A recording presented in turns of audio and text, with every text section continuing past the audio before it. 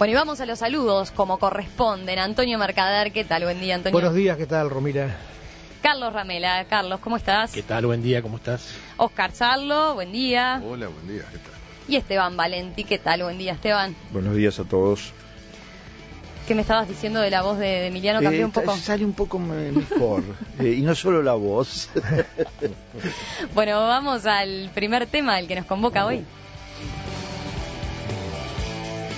El presidente José Mujica dijo que no tiene nada que ocultar y que está dispuesto a brindar la información que le pidan en torno al caso Pluna, luego de que se conociera que una denuncia presentada por Daniel Roca, el ex abogado de Juan Carlos López Mena, lo involucra en presiones contra el empresario para que se hiciera a cargo del aval de la subasta de los aviones de Pluna. Roca incluye a Mujica y varios jerarcas del gobierno en su demanda porque asegura que participaron de dos tensas reuniones en las que el gobierno exigía a López Mena que se hiciera cargo de las consecuencias de la fallida subasta de los aviones de Pluna Sociedad Anónima y del pago del aval por el vínculo que tenía con la empresa Cosmo.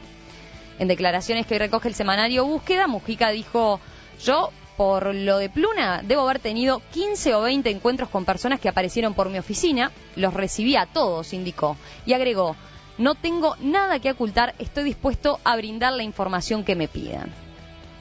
Por otra parte, bueno, según dijeron eh, fuentes judiciales al semanario, a pedido del fiscal Juan Gómez, la jueza de crimen organizado Adriana de los Santos citó a, a Roca, al ex abogado de López Mena, para declarar en los primeros días de septiembre. Roca será interrogado específicamente para que aporte más detalles de estas reuniones en las que dice haber participado luego de la subasta de los aviones de Pluna y donde afirma que el gobierno presionó a López Mena para que asumiera el aval de CO. Bueno, ¿y cómo, cómo ven este tema? ¿Quién empieza? ¿Carlos? Bueno, este, yo en este tema creo que hay dos, dos aspectos centrales para señalar. El primero, bueno, es algo obvio y notorio, es algo que hemos dicho en estos mismos micrófonos hace mucho tiempo. Atrás de este tema estaban desde el primero al último del gobierno, todos sabían lo que estaban pasando. Este, hay cosas realmente inaceptables que demuestran que acá se montó una farsa que, agrede la, sensibilidad y la inteligencia de los uruguayos, ¿no? este, la comida en Lindolfo, famosa, aquella con Lorenzo agarrado en falsa escuadra, fue el 3 de octubre. El día 4, Economía le manda un documento por fax a Buquebus donde le propone a López Mena estructurar una alianza público-privada donde ya disponen de los aviones, ya deciden qué van a hacer, quién pone la plata, quién pone las garantías. Se había celebrado un remate hace, hace cuatro días, una subasta, había un supuesto comprador que tenía o podía tener sus derechos o sus, o sus alternativas, pero ya se estaba disponiendo como si esto fuera una herencia adyacente, prueba irrefutable que todo el mundo sabía que Cosmos no existía. Después de eso, al día siguiente hay una reunión, Mujica dice que recibió a muchos una cosa es recibir a empresarios que vienen al Uruguay a invertir y decirle que le deseamos lo mejor, que lo vamos a tratar bien y algún chiste más. Y otra cosa es llamar a un empresario a la casa de gobierno cuatro días después de una subasta para decirle que asuma el aval o por lo menos que garantice el aval. ¿Por qué tenía el gobierno derecho a pedirle eso a López Mena. A mí no me lo pidió, no sé si te lo pidió a vos, Mercader, pero bueno, se lo pidió a López Mena. ¿Por qué? ¿Qué tenía que ver López Mena? ¿eh? No, no, ya sé, Valente, no te lo pregunté por las dudas. No, no, digo. este, ¿Por qué le pide eso? Pero esa reunión, estuvieron varios que ninguno se acuerda que estuvo y el mismo Mujica había dicho que no había hablado de nada de esto con López Mena. Pero hubo otra reunión peor todavía, en la sede de Buquebús donde al mejor eh, estilo Vito Corleone van Calodia y Guerrero y le dicen, señor, alguien le va a hablar y le pasan un celular donde el otro lado está Mujica, donde nuevamente López Mena es presionada, pero presionado, cualquiera puede imaginar cuáles son las presiones. Sos de Banco República, tenés un servicio público, operás en el puerto, este... las líneas. Las líneas, toda una cosa realmente muy, muy, muy fea, porque eh, eh, el, Estado uruguayo tiene derecho a defenderse, pero a presionar. Entramos en un terreno realmente muy feo y voy a continuar después en eso, pero quiero dejar el segundo enfoque. ¿Mm? A mí esta situación de esta demanda del doctor Roca me parece muy rara y sugestiva. Que un abogado se pelee con su mejor y único cliente después de 27 años al que le cobraba 25 mil dólares por mes, que se pelee y salga a ventilar las cosas que ventila, violando todos los secretos profesionales y profesionales imaginables. La ética profesional. La ética profesional, pero que además lo haga de forma tal que, como dicen ya hoy las fuentes de López Mena, Roca lo que dice es lo mismo exactamente que dijo López Mena. O sea que la demanda tiene el condimento de los honorarios, pero en el fondo esto es un alegato de López Mena para hacerse víctima y poner al gobierno, como lo fue, como el gran presionador que le hizo hacer muchas cosas. Nadie niega las culpas de López Mena en esto, que son inmensas, pero acá pareciera como que se buscó la manera de que López Mena pudiese hablar a través de su abogado y decir las cosas que López Mena directamente no puede decir. Porque si lo dice, están las presiones. Acordate de esto, acordate de esto. Acá no lo pemena, acá es el maldito este que se me dio vuelta y que además me reclama dos millones de dólares. Pero dice cosas que de alguna manera victimizan a López Mena y condenan al gobierno. Es muy interesante eso, ¿no? Esteban. Yo voy a hacer una protesta formal eh, de parte de mi gobierno porque estoy en una tertulia con tres destacados abogados y un ilustre estudiante secundaria. Entonces, en estos temas es complicado. No te tires al menos. Eh, es así, es así, pero la vida. Bueno, eh, a ver, ¿cuál es la. Después de. Eh, yo creo que el caso político judicial más largo de la historia del país, ¿cuál es la acusación que quedó pasando el, la espumadera? Quedó una sola, que es el tema de haber favorecido a López Mena para el aval. Es decir, eh, ustedes podrán especular otra vez, la oposición le la maneja, pero eso es lo que quedó. La, denuncia que hace eh, los senadores blancos no es sobre ese tema, es sobre todo el tema de Pluna. Y lo que queda es, así, pasando la espumadera, es el tema de que se hubiera favorecido en todo el proceso a López Mena. Resulta que ahora aparece una información no dada por el gobierno, no filtrada por el gobierno, filtrada por un abogado que era el abogado de López Mena, donde el gobierno presiona a López Mena para que se haga cargo nada menos que de pagar un aval, es decir, vamos a llamarlo como corresponde, una multa, porque el aval esconde una cosa, tienes que pagar algo porque una empresa determinada no cumplió la compra de los aviones en el remate que corre, el 10%. 13 millones 700 mil dólares. A mí, eh, eh, desde el punto de vista de eh, lo que yo pensaba, conocía, e incluso de documentos que publiqué esta semana en WIPRES, yo publiqué esta semana en WIPRES un documento que está en el expediente, que lo conseguí en el expediente, que es el que manda López Mena al juzgado diciendo por qué se va a hacer cargo de, el, pago, del aval de Cosmo. Eh, recuerdo que aquí, hace no muy poco, se discutió que López Mena no iba a pagar el aval. después se discutió que había pagado una cifra y no le iba a seguir pagando. Ahora acordó de que va a pagar todo lo que le corresponde. Moneda argentina. Eh, Yo quiero decir lo siguiente. Y acordó que también que él después se, va a determinar la justicia, ¿no? que, que, pase con... Y reestructuró un pasivo, un pasivo de 50 millones de dólares pero, en condiciones muy ventajosas. Sí, yo, Quiero, yo quiero decir lo siguiente comparativa, primero es la primera vez en la historia del Uruguay, y los reto a que me digan otro caso, en los últimos 367 años, en que un empresario paga algo, paga una multa por una acción empresarial de estas dimensiones, que si la comparamos con antecedentes anteriores, por ejemplo, bancos que se fundieron, empresas que fueron a la corporación y se fundieron, carteras pesadas que cada 10 años se transformaban en un mecanismo absolutamente normal en el sistema financiero uruguayo. Nunca nadie pagó nada en este país. Entonces, la principal acusación, esto, ¿qué le agrega? Agrega que quiénes fueron los participantes, bueno, más o menos lo suponía todo el mundo. Se puede decir, bueno, entonces, ¿por qué eh, eh, eh, solo dos, un ministro y el director de, el presidente del banco se, se, hicieron cargo de todo. Yo creo que hicieron bien.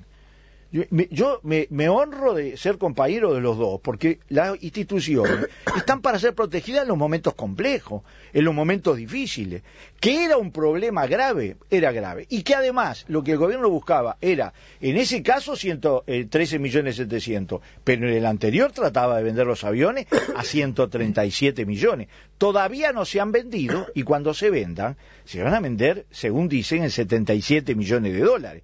Por lo tanto, lo que no se puede decir y se reafirma en todo esto, que, que haya habido corrupción. Porque para que haya ah, corrupción, alguien tiene que ser favorecido, algún privado tiene que ser favorecido. Acá no hay nadie que fue favorecido con nada. Al contrario, creo que si hay un exceso, es que se quiso de cualquier manera, en el sentido de lograr los mejores resultados en un proceso muy difícil que tiene 80 años. Antonio. Sí, aquí lo que no acepto de lo que acaba de decir eh, Valenti es que el, el único problema sea eh, si López Mena pagó el aval o no pagó el aval. Aquí el problema se llama Pluna y es mucho más grande y más grave. Aquí la historia empieza hace unos años cuando el vicepresidente Astori sale diciendo lo que empieza bien va a terminar bien, hemos hecho una asociación con este señor que nos han traído, cuyos antecedentes eran en materia de lechería, que era el único conocimiento que tenía, eh, le dieron le dieron pluna, se manejó muy mal, hubo denuncias constantes de que había un mal manejo, no se hizo caso a las denuncias, la oposición denunció de Campiani. que Lidgate, Campiani y compañía andaban muy mal, este, pese a lo cual siguió adelante hasta que otro error más, este, en un momento totalmente inoportuno se decide cerrar Pluna previo a las vacaciones de julio, este, alegando que iban a venir juicios por 8 mil, 10 mil millones de dólares, una cifra así increíble la, la- la que se dio en el momento. Se hizo todo de manera apresurada, mal, mal hecho por supuesto. Este, a continuación de lo cual se urdió toda esta farsa de un remate trucho con un comprador trucho este, que dio su nombre falso, que después el ministro de, de Transporte salió a justificar que el nombre, que en fin, que se podía trabajar con seudónimos en los remates. Este, lo de Lindolfo que se recordaba, es decir, un pastiche enorme donde hay mucha gente implicada y donde a pesar de que tú decís de que aquí no hubo nadie favorecido, bueno, eh, la justicia procesó a Campiani, al, al- al director de que al ver, socio, ¿eh? perdón, al socio del Estado y a otro más, este, por algo los procesó. Eh, el, el ex ministro de Economía y el ex presidente del Banco de la República también están procesados. Digo, algo ha pasado, porque si no, ¿cómo se explica tanto procesamiento? ¿Cómo se explica que sea un tema judicial tan gordo que sigue adelante? Entonces, no podemos minimizar y decir aquí el único problema es el señor López Mena, que por otra parte, si vamos a la prensa de la época, me estoy refiriendo a unos tres, dos años atrás, este, yo recuerdo muy bien cuando eh, López Mena hizo una declaración, tuvo aquel eh, entredicho con Lorier sobre si traía, eh, que Lorier lo amenazó, y me acuerdo que López Mena en una entrevista, y está publicada, dijo, este, a mí me llama el presidente de la República todos los días para pedirme que intervenga. Me Lo, acuerdo. lo- lo- lo declaró públicamente, es decir, que la presencia, la participación directísima de Mujica, no que Mujica estaba en una reunión por casualidad, no, no, era Mujica el que agarraba el teléfono y le decía a López Mena, eh, loco, andá y comprá este, y hacete cargo, o sea que no nos sorprende a nadie esto. Que el abogado lo llame, yo tengo las mismas dudas que tiene Rapela. Me llama mucho la atención la actitud del abogado, que es una actitud poco ética para un profesional, pero que además en el fondo le está haciendo un bien a López Mena porque lo está presentando como una víctima de todo, está repitiendo los argumentos de López Mena. Es muy raro lo que está pasando, ¿no? Oscar. Sí, este, me parece que está claro cuál es la, la idea de, de- sobre cada vez que se sa- saca este tema. Hay una, tendríamos que hablar de la novedad y lo que se hace es hacer un raconto de todo para volver a, a instalar las mismas imágenes en la, en la opinión pública. Bueno, digo, es un juego político, está bien. Yo lo que celebro es que en, en todo ese relato sigue aparecer cuál fue el provecho que sacaron los gobernantes o familiares o, personas allegadas a los, a los gobernantes, ninguno. Eh, más que las consecuencias de una de errores que se cometieron, sí, y de interpretaciones que todavía habrá, habrá que ver en última instancia que decide la justicia. La figura del abuso de derechos es una figura muy ambigua que puede prestarse a que haya conclusiones dentro de un tiempo en la sentencia definitiva que terminen desmintiendo todo lo que hoy dan por, por barato que existió. Así que es un tema, yo no pienso opinar, ya está en manos de la justicia. Celebro que no haya ningún señalamiento de corrupción estrictamente y los otros indicadores que se mencionan no son decisivos de, de ninguna de ningún señalamiento más que de errores que bueno parecería que hubo o que se podrían haber hecho las cosas de otra manera En lo político, yo creo que el precio que se está pagando por esto es el haber querido resolver varios objetivos al mismo tiempo. Querían evitar el embargo, querían eh, dejar de cortar el, el, desagramiento financiero del Estado con una empresa que venía hacía mucho tiempo que venía significando una pérdida para el Estado. Otros habían intentado también sacársela de encima, no lo hicieron, o sea que permitieron que siguiera el desangramiento del Estado y además generar una empresa este, para los mantener el trabajo de los trabajadores y además quedar bien con el, eh, el empresario estrella de, de, del momento. Bueno, son demasiados objetivos para una sola operación. Esto generalmente termina mal. Apoyado. Eh, en segundo lugar, perdón, ¿sí? este, en segundo lugar, creo, sí estoy de acuerdo con los colegas, a mí lo, lo, primero que me sorprendió, porque es de lo que tenemos que hablar, es la novedad, ¿cuál es? Es la actitud del abogado. Realmente yo estuve mirando las, la, repasando las normas de ética de la abogacía uruguaya y son muy claras, ¿no? Es decir, el, abogado no puede revelar nada que haya, ninguna información recibida en función de su desempeño profesional, salvo que, eh, este, que entre en conflicto personal con su cliente. Pero en ese caso, inclusive, solo en la medida que sea estrictamente necesario para la defensa de su interés. Acá la, la, la, exuberancia en las declaraciones, en los detalles, está hablando, yo voy, eh, en, creo lo mismo que señalaron los compañeros, de que acá se está cumpliendo un, objetivo este, lateral a esto, porque sí, el, el, asunto es involucrar más gente y, y generar escándalo en este momento sobre cosas que ya más o menos todo el mundo sabía y este entonces me parece que una jugada riesgosa, ¿eh? riesgosa a... y que López Mena no haya podido arreglar por dos millones con una, con su abogado que debe saber esto y muchas cosas más do, por dos millones y este cuando está jugándose muchísimo más es, es muy sospechoso todo esto. Voy a, a recordar a ver eh, lo que dice Roca de por qué se desvinculó, ¿no? Eh, él dice que la decisión de, de, renunciar la tomó el pasado 23 de mayo luego de que el abogado argentino Horacio Martireré, que asesora a Buquebus en, en Buenos Aires, le confirmara telefónicamente los dichos de Álvarez eh, respecto a Cosmo. Álvarez, el, el propietario, ¿verdad?, de, de la aerolínea española que, bueno, decía, actuó como testaferro de López Mena en la subasta de los aviones. Entonces, eh, luego Roca mantuvo, a partir de esa información que le dio este abogado argentino, un diálogo telefónico con López Mena que definió como duro, tenso y desagradable. Según el profesional, el empresario lo amenazó con implicarlo directamente en el tema y él dijo, mi actuación fue exclusivamente profesional y varios días después de la subasta de los aviones, según aseguró, y bueno, a criterio de Roca, en esa comunicación le quedó claro que López Mena jugó un papel trascendente en todo el proceso del remate de los aviones y la posterior, el posterior tema de la trama del pago del aval y que no se limitó a contactar al gobierno con Cosmo, como él afirmó, e incluso dijo su participación ya no era como siempre la pintó ante todo el mundo, por lo que ante tal ofensiva y deslealtad eh, de, de, proceder y en protección de mis derechos, dado el anuncio de involucrarme en temas ajenos a mi responsabilidad, resolví sin más trámite notificarle vía correo electrónico la decisión irrevocable de no asesorarlo legalmente más ni a él ni a su empresa. Ese Carlos. motivo que invoca es el único punto de todo su escrito que le pega a López Mena y no al gobierno. Ahora, lo que está señalando ahí, de todas maneras, es un hecho que ya es público y notorio y está en la justicia del crimen organizado. O sea que bien puede ser un interés de salirse del tema y, no aparecer incluido. Llama la atención que, que fue durante 27 años abogado López Mena y no un abogado externo, hombre de confianza, amigo, parte de la familia prácticamente, que integró el directorio de Buquebus durante muchísimos años, se sorprenda tanto, tenga tan, tan extrañado por estas cosas que pudo o debió en todo caso conocer antes.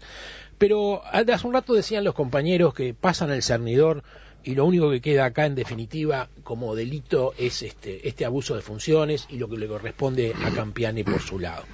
Yo, para utilizar un término jurídico, le diría por ahora y sin perjuicio porque en los últimos meses o semanas se han sumado cosas nuevas. Lo que dijo el señor dueño de Cosmos, lo que va a decir cuando venga ahora eh, el hombre de la derecha, eh, lo mismo que dice Roca. A acá es evidente, eh, no me hablen de provecho económico para, para los miembros del gobierno, acá es evidente que lo primero era tapar un enorme error político.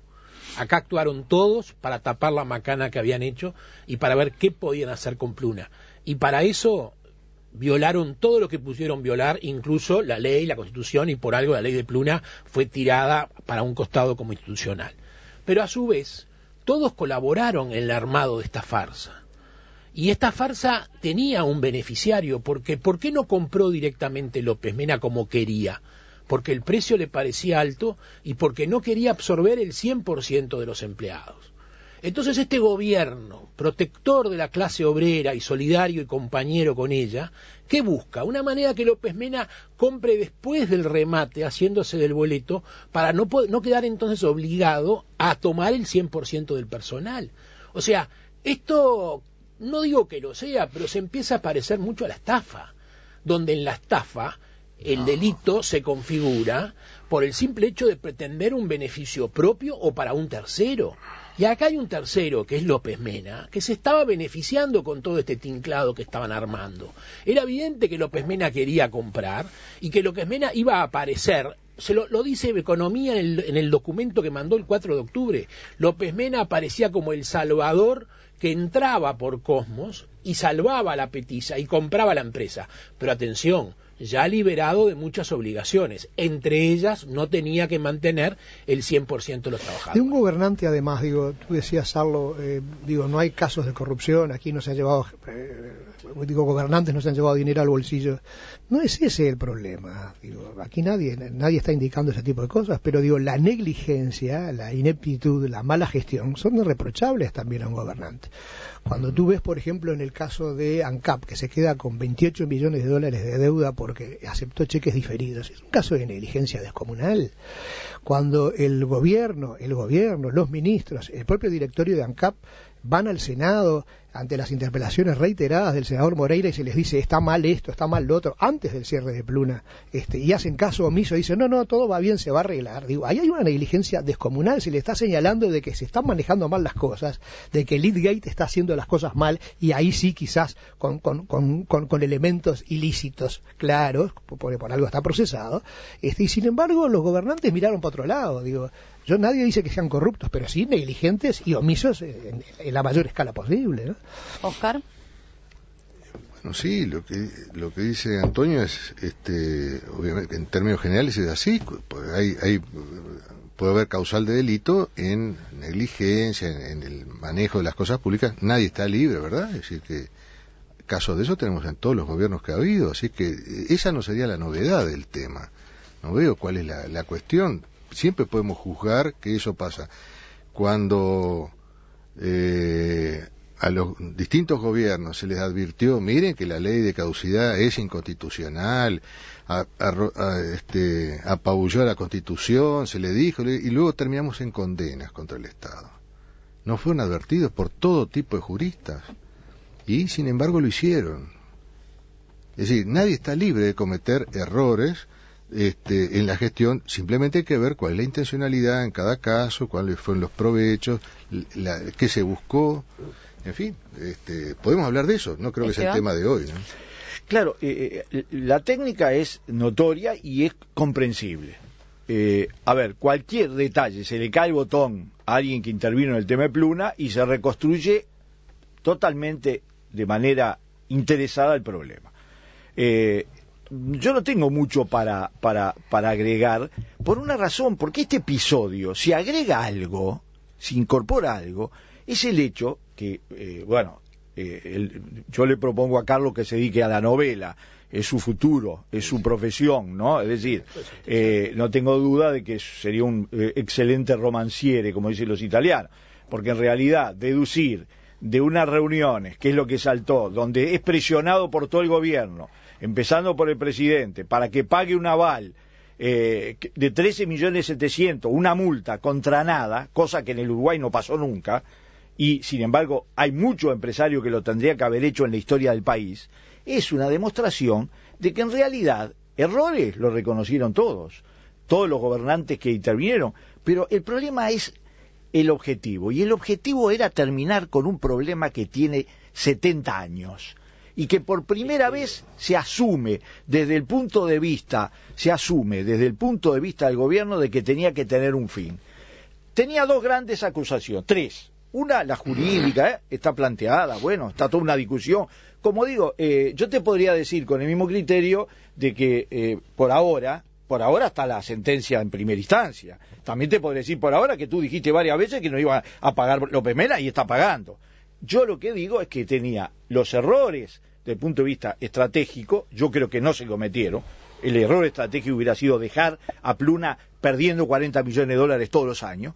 El error de carácter jurídico se cometieron, no hay duda. Y el error desde el punto de vista de, eh, la corrupción, de favor... ¿sabes lo que te agrego a lo tuyo? La desesperación porque nadie pudiera llevarse un peso, ni parecer llevarse un peso. Ese es el problema.